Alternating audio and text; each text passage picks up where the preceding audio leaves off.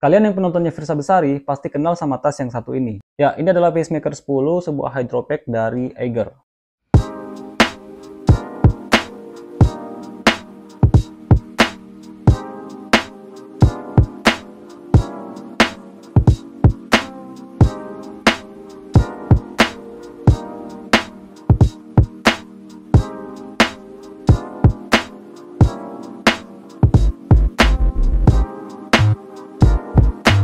Oke Sobat Tiger, selamat datang kembali di channel Libal Outside. Seperti biasa, malam ini saya akan mereview lagi.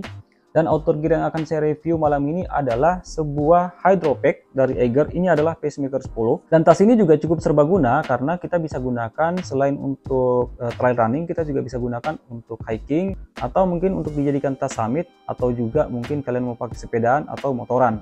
Dan langsung saja saya akan bahas untuk uh, spesifikasi dan fitur-fitur yang terdapat pada Hydropack ini. Oke, yang pertama yang saya akan bahas adalah untuk kapasitas sesuai dengan namanya pacemaker 10. Ini adalah uh, Hydropack dengan ukuran 10 liter. Untuk bahan materialnya dia menggunakan bahan nilon Cordura 210D dan nilon robik hexa 100D. Nah, bahan cordura ini sendiri merupakan salah satu kain yang paling cocok untuk dibuat tas. Warna dan bahannya relatif tahan lama dan cukup kuat untuk digunakan dalam segala kondisi cuaca dan medan. Nah, biasanya bahan cordura ini biasa kita temukan di tas-tas outdoor seperti ini atau tas-tas militer. Sedangkan untuk nilon robik sendiri adalah salah satu material dan kualitas terbaik yang berdaya tahan kuat, mampu menahan abrasi dan gesekan dengan tanpa mengurangi tampilannya sehingga dia tetap terlihat awet. Lalu untuk dimensi, untuk lebarnya dia 24 cm, lalu untuk untuk uh, tingginya atau panjangnya dia 40 cm dan untuk kedalamannya dia 10 cm. Kemudian hydropack ini memiliki beberapa kompartemen, di antaranya adalah uh, kompartemen untuk water bladder dan di sini ada gantungannya. Lalu kompartemen utama, terus kompartemen bagian depan, kompartemen bagian samping kiri dan kanan yang terbuat dari bahan mesh yang elastis.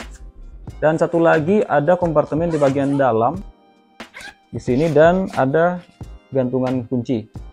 Lalu terdapat tali elastis untuk mengikat trekking pole. Jadi untuk trekking pole yang bisa kita gantung di tas ini adalah trekking pole yang uh, ultralight atau yang folding seperti ini. Di bagian sling bagnya terdapat masing-masing dua kompartemen. Tentunya ini adalah untuk menyimpan botol minum. Dan untuk botol yang bisa dimasukkan ke sini itu kalian bisa pakai hard bottle atau juga soft bottle itu lebih bagus lagi. Kemudian di bagian depan terdapat lagi dua kompartemen masing-masing di sini. Jadi totalnya ada 6 kompartemen di bagian depan. Dan ini terbuat dari bahan mesh yang elastis buat naruh-naruh kayak vitamin, eh, bar atau gel atau mungkin snack. Lalu ada strap di strap dada. Strap dada ini terdapat dua buah untuk mengancing di bagian depan dan terbuat dari bahan, karet yang elastis kayak gini. Dan terdapat juga strap di bagian bahu sini. Ini untuk mengancing selang dari water bladder. Jadi ini ada water bladder. Water bladder ini itu ukurannya satu setengah liter. Nah di spesifikasinya sendiri dia menyarankan sebaiknya kita pakai yang satu liter. Tapi ini cuma sebagai contoh aja.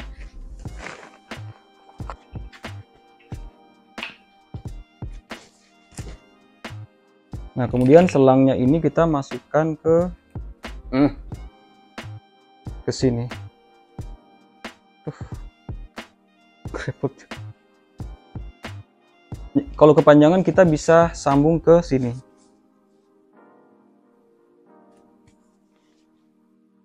Nah, jadi kayak gini teman-teman. Terus untuk untuk back systemnya atau bagian belakangnya ini dia menggunakan bahan mesh yang cukup tidak terlalu elastis tapi ini cukup nyaman dan dikombinasikan sama bahan busa. Uh, dia jadinya breathable jadi ketika dipakai dia lebih nyaman dan punggung kita tidak berkeringat. Dan dia nyambung sampai ke bagian sling bagnya sampai ke bagian bawah sini. Untuk aksen reflektif di sini terdapat beberapa di bagian depan ada dua yang strap ini. Terus di bagian belakang terdapat di sini di bagian ini dan di bagian bawah. Nah, ini fungsinya ketika kita pakai di malam hari jadi bisa kelihatan gitu atau pada saat kondisi low light. Oh ya, untuk zipper dia sudah menggunakan YKK jadi cukup banyak emblem Eiger di sini terdapat di di atas ini, kemudian di setiap uh, handle dari zippernya kemudian di setiap strapnya juga ada kayak gini di, di depan juga ada nah di bagian sini juga ada Oke dan untuk beratnya atau bobotnya dia kurang lebih cuma 300 graman. Lalu untuk varian warna, untuk Hydropack 10 dia ada dua varian warna yang orange ini sama warna biru. Terus ada lagi yang Hydropack yang 1.0, sebenarnya sama aja sih. Cuman bedanya dia untuk di strap dadanya, yang ini kan dia pakai strap e, karet elastis kayak gini.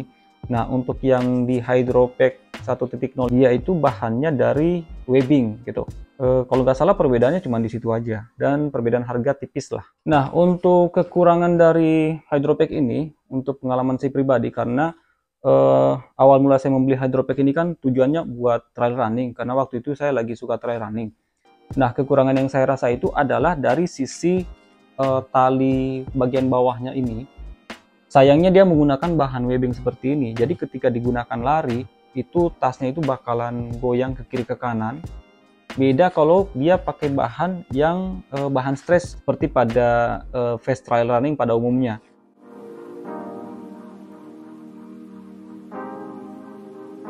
Kita harus pasang strap dadanya nih, jadi usahakan nggak sampai putus. Oke, dan kita bisa adjustable sesuai dengan uh, kebutuhan. Terus ini juga sandarin di sini. Langsung kita minum seperti ini. Atau kalau memang kalian nggak pakai apa water bladder kalian bisa pakai botol minum yang kalian taruh di bagian sini tampilan dari samping kayak gini jadi back systemnya itu enak dia karena bahannya mesh jadi ini nyaman banget. Dia breathable dan dipakai juga nggak gampang panas. Selain dipakai di belakang kayak tadi ini juga bisa kalian pakai kayak gini kayak Bung Firsa.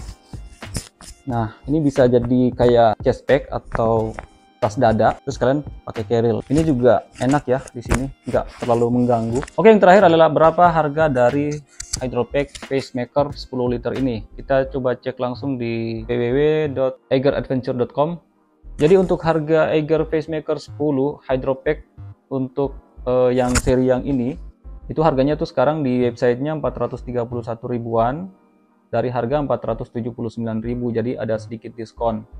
Dan untuk yang seri Eiger Pacemaker 10 1.0 itu harganya sekarang 449 ribuan dari harga 469 ribu. Oke sobat Eagers itu dia review saya untuk Pacemaker 10 Hydropack dari Eiger ini semoga bisa menjadi referensi dan buat teman-teman mungkin yang berminat untuk membeli Hydropack ini kalian bisa uh, belanja langsung atau belanja online di website resminya eigeradventure.com atau kalian bisa kunjungi langsung Eiger Adventure Store yang ada di kota kalian. Oke teman-teman sekian dulu untuk review saya kali ini. Kalau kalian suka video ini silahkan di like, kalau kalian nggak suka silahkan di dislike. Sampai jumpa di video saya berikutnya dan salam lestari.